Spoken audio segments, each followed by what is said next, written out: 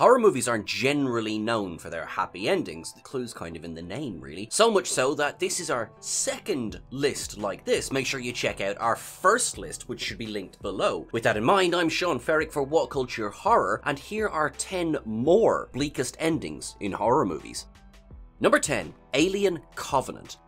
A macabre follow-up to 2012's Alien prequel Prometheus, Alien Covenant may not have reached the original entry's lofty heights, but still received a largely positive critical response. The 2017 outing follows the crew of the colony ship Covenant. After landing on an uncharted planet, they soon come face to face with Michael Fassbender's gloriously sinister David. The devious android has spent the time since the events of Prometheus plotting mankind's downfall, engineering the lifeforms that would go on to become the franchise's iconic xenomorphs. Despite ending his day debut appearance as nothing more than a decapitated head, David comes out on top this time around in exceedingly bleak circumstances. As a result of his identical appearance to the Covenant's resident cyborg Walter, Fassbender's antagonist carries off a wickedly brilliant Trojan horse act after disposing of his doppelganger, a deception that is only revealed after Katherine Waterston's Daniels and Danny McBride's Tennessee seemingly come out on top. Daniels only makes this more devastating realization after she is placed in stasis, far too late to prevent the murderous android from carrying out his mission. David proceeds to place two facehugger embryos into cold storage with their human counterparts as the Covenant sails silently onwards towards its destination. To paraphrase the movie's oft-quoted words of Percy Shelley, look upon his works ye mighty and despair.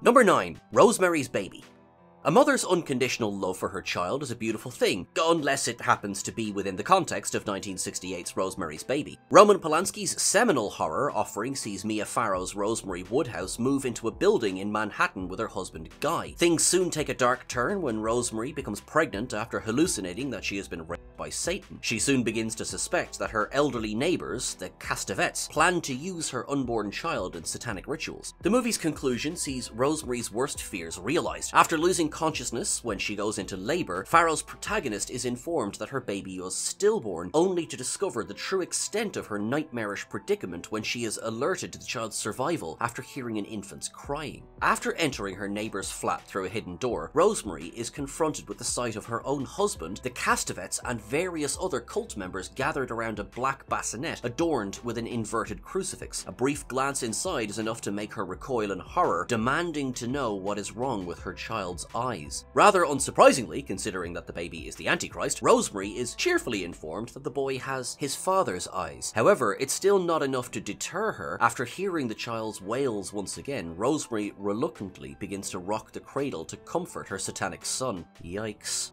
Number 8. Would You Rather?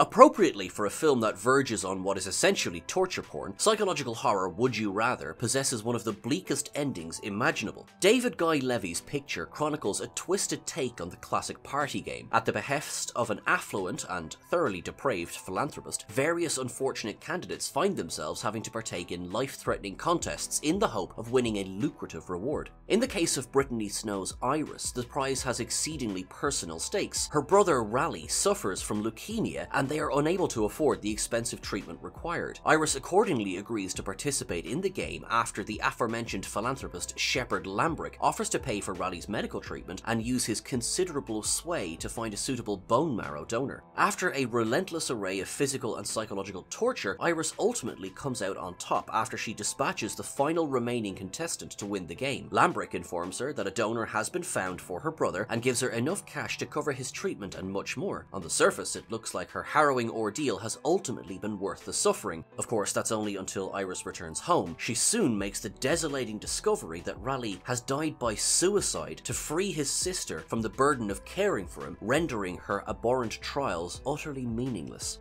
Number 7. Kill List in addition to the debut of one of psychological horror's hidden gems, 2011 witnessed one of the most soul-destroying conclusions to a movie that a person could fathom. A gloriously unsettling slow burn of the highest order, Kill List follows a British soldier who takes up work as a hitman after returning home from overseas. On paper, the film's premise sounds more like an action thriller, serving only to compound the levels of shock when it morphs into full-on nightmare territory. The aforementioned soldier, Neil Maskell's shell-shocked Jay, is tasked with a series of assassinations, revealed to be the plottings of a shadowy cult. After a harrowing pair of murders, he and his partner decide that they want no further part in this twisted scheme, but the faceless organization coerces them into completing the mission by threatening to kill their families. Kill List's climactic sequence sees Jay captured by the cult and tasked with one final murder, a masked and cloaked figure with whom he engages in a brutal knife fight. The veteran Judy triumphs by brutally stabbing his mysterious foe to death, only to make the soul-cleaving discovery that his adversary was actually his wife Shel with their young son Sam strapped to her back. Utterly gut-wrenching stuff. Number 6. The Collector. Marcus Dunstan's The Collector constitutes yet another case of you picked the wrong house for the horror genre. The 2009 horror chronicles the plight of Arkin O'Brien, an ex-convict Josh Stewart's character attempts to rob a house to pay off a debt, only to discover that a considerably more nightmarish intruder has already gotten there first. As opposed to burglary, the eponymous villain collects one human being from every house that he visits, brutally murdering any remaining occupants. The Collector traps his prey in the property with him, preventing any escape through a delightful array of booby traps, including window frames lined with razor blades and spikes hidden in telephones for anyone foolish enough to call 911. Appropriately for such a morbid central premise, the movie ends in a thoroughly depressing manner. After Arkin seemingly escapes his psychotic pursuer, he is accidentally hit by an approaching police car and placed in an ambulance to be transported to a hospital. All's well that ends well, right? Incorrect. The Collector ambushes Arkin's ambulance, ramming the vehicle off the road and savagely murdering everyone on board except for his quarry. Stewart's thrashing protagonist is dragged out and stuffed into one of his pursuer's signature trunks as he screams in despair. It gets even worse from there with a post-credit scene depicting the victorious collector watching film slides atop O'Brien's container. Number 5. Smile. It's supremely ironic that the conclusion to a film entitled Smile is enough to make one weep despondently. This 2022 horror depicts the tribulations of Dr. Rose Cotter. A therapist on a psychiatric ward, Rose is tormented by a supernatural entity after she witnesses one of her patients die by suicide. Said patient believed that she was being pursued by an invisible being that took the form of a smiling people or persons, constituting more than an eerie coincidence when she slits her own throat while grinning like the Cheshire Cat. The entity is revealed to be the result of a curse passed on from one individual to another when they witness an identical suicide. Unfortunately for Sosie Bacon's protagonist, that means she's next. Smile concludes in abjectly harrowing fashion after 115 minutes of psychological torment. Rose is led to believe that she has evaded her paranormal pursuer, only to realize that she has hallucinated her entire escape. The doctor comes face to face with the nightmarish entity, a hideous monstrosity that possesses Cotter by forcing her jaw open and literally clambering inside her. The cherry on the cake comes as Rose's old boyfriend Joel arrives just in time to witness his old flame smiling like a person who fell asleep with a coat hanger in their mouth. The beaming doctor immolates herself before his very eyes, passing the curse on to Joel to conclude 2022's most disturbing psychological horror offering. Number 4. The Wicker Man.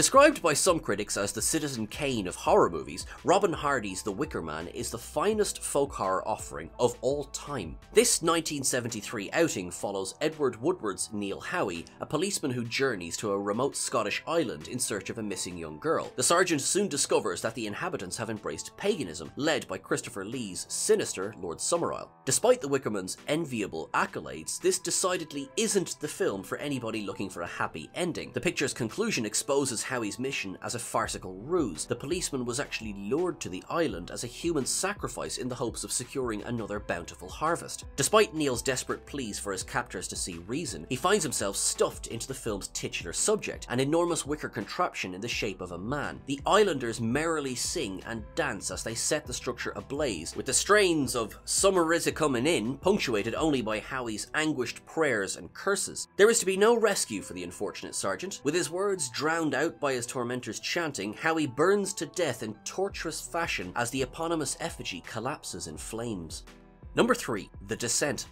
It speaks volumes that the revelation that people actually go caving for fun isn't the bleakest thing about 2005's The Descent. That unenviable honour is undoubtedly reserved for the subterranean horror's conclusion. The Descent chronicles a caving expedition gone horrifically wrong. Six friends find themselves trapped in a cave system miles below the surface where they are subsequently hunted by an array of nightmarish humanoid creatures. The Descent's original ending is so soul-destroying that the US version of the film actually depicts an alternate conclusion over concern concerns that the prototypical take was too depressing. This rendition sees lead protagonist Sarah escape her hellish surroundings with no more than a creepy hallucination of her old friend Juno to close the show. Yawn. The extended ending, screened in the United Kingdom, is considerably more horrifying to say the least. As opposed to concluding on the apparition of Juno, the illusion morphs to reveal that Sarah is still trapped in the cave system, having completely fabricated the escape in her own mind. However, director Neil Marshall isn't quite done sucking the life out of anybody watching. Sarah continues to hallucinate, imagining her deceased daughter sitting across from her, holding a birthday cake with her face illuminated by the light of the candles. In actuality, the glow is emanating from her flickering torch, slowly dying out as the monstrous creatures close in around her.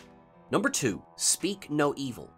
As disturbingly sadistic as it is deliciously satirical, Danish production Speak No Evil was one of 2022's more unexpected success stories, to the point that a remake of the film starring James McAvoy is currently in production. With all that being said, the ending to Christian Tafdrup's picture is legitimately traumatizing enough to send a person to therapy. The film centers on Bjorn, Louise, and their young daughter Agnes. After becoming acquainted on vacation in Italy, the trio are invited to spend a holiday with a couple and their young son at their remote Dutch farmhouse. Unfortunately, their new friends soon demonstrate behaviour that would make Hannibal Lecter resemble a dream roommate. Speak No Evil's finale reveals that the couple, Patrick and Corinne, are actually a pair of depraved serial killers, utilising a modus operandi of abducting children after murdering their parents. After he discovers the couple's supposedly mute son Abel's corpse, Bjorn's desperate attempts to get his family to safety are foiled when their car breaks down. The killers catch up with them, and Corinne proceeds to cut out Agnes's tongue before her parents are forced into a ditch to be stoned to death. It somehow gets even worse from there. The murderous duo are seen soon after as they target a new family, with a now mute Agnes being forced to masquerade as their latest child. Number 1. Sinister. Anybody looking to spend an evening rocking to and fro in abject despair could do far worse than Scott Derrickson's Sinister, acclaimed by many as one of the most terrifying horror films of all time. The 2012 outing follows Ethan Hawke's Ellison Oswalt, a once successful true crime writer on his down on his luck. Intending to write a biography on an unsolved murder case, Oswalt moves his family into the property where the killings took place in the hope of gaining inspiration. Unfortunately, Hawke's protagonist gets more than he bargained for after discovering a box of snuff snuff films. The Super 8 tapes depict an array of blood-chilling murders perpetrated against entire families in Oswalt's new home. This development duly unveils the involvement of Bughuul, an ancient demonic entity that murdered entire families with the exception of one child, which the terrifying being would then claim for itself. Further research reveals, for each murder that took place, a child disappeared from the family in question. Sinister's desolating ending reveals that the murders were actually the work of the missing children under the demon's influence, a realization that Oswalt makes far too late when he imbibes coffee drugged by his own young daughter, Ashley. In Bughuul's thrall, Ashley butchers her hapless family with an axe and paints the walls with their blood before being claimed by the entity in one of horror's most ghoulishly macabre conclusions. And on that happy note, that brings us to the end of this list. Thank you very much to the original writer, Gabriel Sheehan. You can check out his article over on whatculture.com. Make sure that you're following us on Twitter at whatculturehorror, and you can follow myself at Sean Ferrick on Twitter, Instagram, and the various socials as well. Until I see you again, make sure that you look after yourself, make sure that you're being kind to yourself and others, and if you can do anything to help it, try not to end up on one of these lists, eh? You're wonderful. Thanks very much.